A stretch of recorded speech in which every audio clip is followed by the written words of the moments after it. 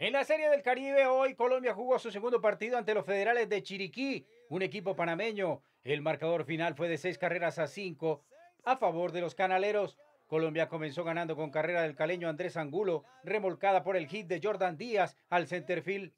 Panamá se fue arriba en el cuarto episodio 3 por 1 tras un roletazo de Enrique Valdés. Empujó al Jón a Erasmo Caballero y Ariel Sandoval. Con un batazo de Jesús Marriaga, Colombia puso el 3-2, empujando a Brian Vuelvas para el descuento en el cuarto episodio.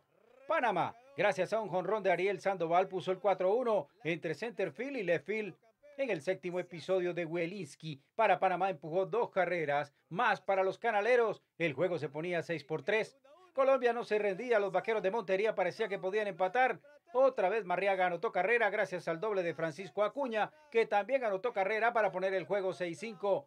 En el noveno episodio, las dos novenas se fueron en cero. De esta forma terminó el juego. Victoria para Panamá.